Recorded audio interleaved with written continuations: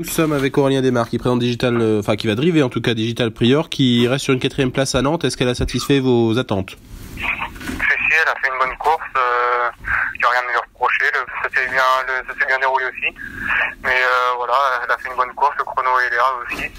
La jument comme paraît revenir, revenir pas si mal que ça. Donc c'est vrai que lundi on attend une bonne performance, même si c'est un peu relevé. Et bon, une place nous satisferait déjà. Ouais, les demi-cents de la grande piste, ça doit pas la déranger. hein.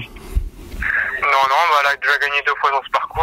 euh, normalement, euh, pour le parcours, il n'y a pas de contre-ordre. Voilà, c'est plutôt euh, l'opposition qu'on connaît pas trop, que je connais personnellement pas trop. Mais voilà, euh, la jument paraît bien, et commence à revenir pas mal. Quel serait le meilleur déroulement de course pour elle?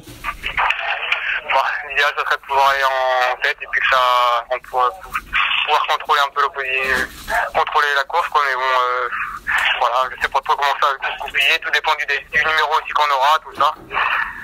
À voir. En tout cas, elle est prête à, à faire de son mieux?